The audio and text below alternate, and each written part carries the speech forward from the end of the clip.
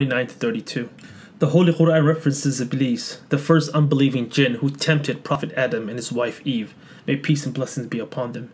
Iblis' descendants and helpers that exist until this day are referred to as shaitan or shayateen in the plural form, and are unbelieving, evil, and rebellious jinn.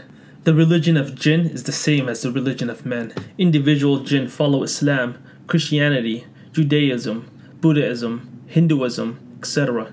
Jinn speak their own languages and they can learn the language of men to communicate with them. Jinn have their own ethnicities and tribes. That which differentiates Jinn from mankind is their unique powers and abilities, bequeathed by our Creator as a test.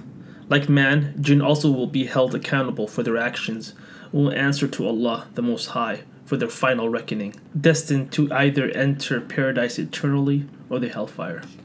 By learning and knowing the powers and special abilities of the jinn, man often comes to comprehend many of the mysteries that linger around us. One such power the jinn possesses is the ability to transform to any physical form of their appearance, except for the appearance of our last and final Prophet Muhammad, peace be upon him. Jinn can appear as humans, animals, trees, and other objects. In many aspects of their world, jinn are like mankind in that they have their own laws, civilization, scholars, etc. Jinn eat and drink, they marry, they procreate, and they die. Their lifespan, however, is much longer than ours, and unlike us, they can bear thousands of children. They can fly. Jinn do not have unlimited power in the same manner that God does. Therefore, their